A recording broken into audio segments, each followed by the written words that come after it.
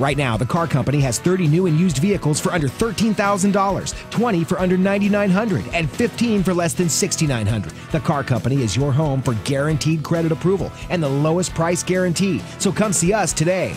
The car company. Great cars at great prices. Lake City TV. Local, dependable, on demand. I'm Mandy Whitaker. The City of Warsaw will have some extra cash reserves on its hands after the City Council meeting on Monday. The Warsaw Common Council voted to allow some $1.1 million of the budget to go unused from the 2013 budget year and instead add it to reserves. The breakdown included roughly $600,000 from the General Fund, 375,000 from the Fire Territory Operating Fund, nearly 8500 from the aviation budget and almost 31,000 from the cemetery budget and just over 92,000 from parks and recreation. Residents in Kendallville are less than pleased with a recent proposal that would require a permit to hold garage sales. A city council member made the proposal Tuesday night in response to what he says were homeowners running continuous garage sales. The proposal includes requiring a $5 permit fee and limiting each permit holder to three garage sales a year.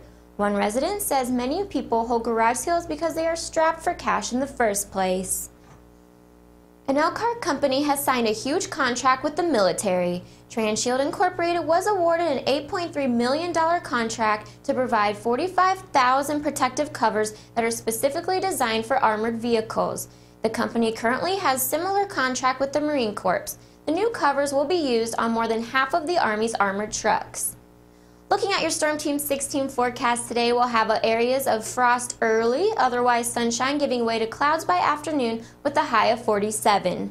Tonight, chance of an evening lake effect shower, then a snow or rain shower possible overnight, low around 30. Friday, a mix of sunshine and clouds, high of 49, and Friday night will be cloudy and cold with a low in the mid 30s. And finally, tomorrow starts the annual Foodathon for Combined Community Services.